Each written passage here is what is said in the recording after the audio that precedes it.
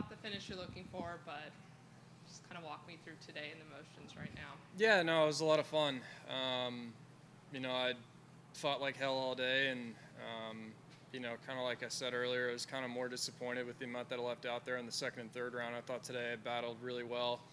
Um, I thought the putt I hit on the 72nd hole, I thought I made it.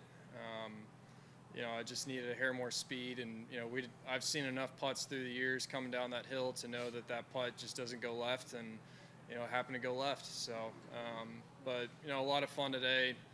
Um, you know, I, I'm kind of the emotions that I'm kind of feeling are a little bit from Korn Ferry.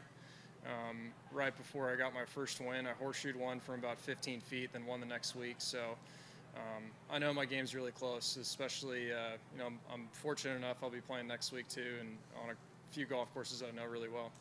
Will, was there any discussion to not do the playoff today?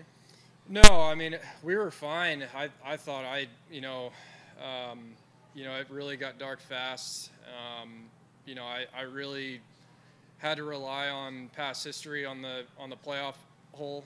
Um, I really couldn't see much in terms of the read, but um, you know I'm not even that disappointed with with that part. I mean I made three pars on 18 this week, and you know that's just not going to get it done. What was the read on the playoff putt? What were you seeing? Uh, right center. Um, you know, I just started bouncing a little early and, and just broke off hard. Um, I hit a great putt. I mean, I striped both of those putts.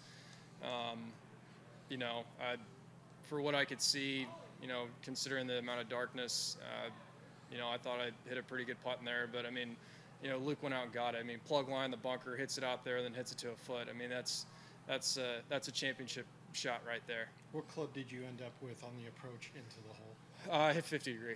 Okay. So. And the bizarre nature of you guys driving.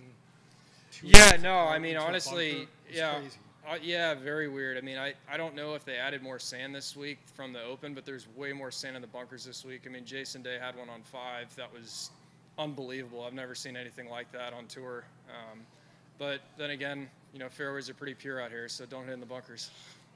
This is your first playoff loss on, on tour, and it all happens so quick, right? Like Luke makes his birdie, you mm-hmm. miss, and then you're standing here in front of us. How do you process it all? Where are your emotions right now? Want to go get next week. It's pretty simple. Um, I got no regrets today at all. I, I thought I, like I said, I thought I battled like hell all day and um, handled myself really well. I mean, I, I had my chances for sure. Um, but you know that's just the, the nature of this game. It's hard to win out here. There's there's no question about that. How tough was the course playing relative to the rest of the week? And you talked about some pins were pretty tough. How, how tough was it for a final round? Yeah, I mean, basically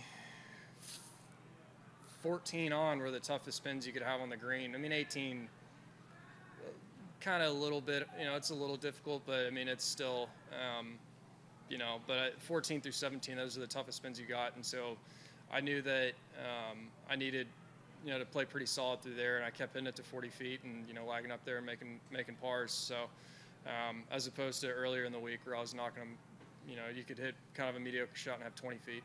Did you have any sense when you stepped to 18 on in regulation that this is my hole? I'm gonna I'm gonna do this here. Was there any?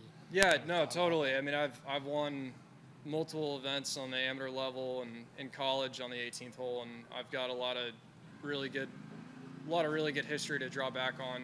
Um, so I, frankly, I can't remember a playoff loss that I've had. So this one, uh, this one's kind of new for me.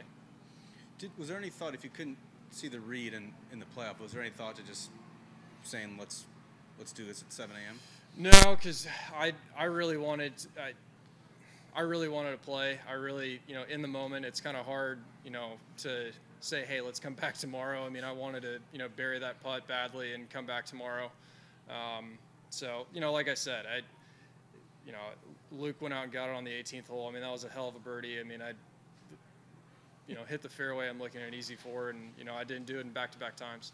Did you feel, as a rookie, it almost felt like you were a hometown guy out here and you'd won a bunch of times? Mm-hmm does, did that feel like that to you of how much support you got? Yeah, definitely. I mean, the fans were incredible this week, um, especially coming in on 18 and, um, you know, I, I definitely felt like the hometown kid even before I'm hitting my putts on 18. You know, the crowd's cheering. So um, I know I'll be back.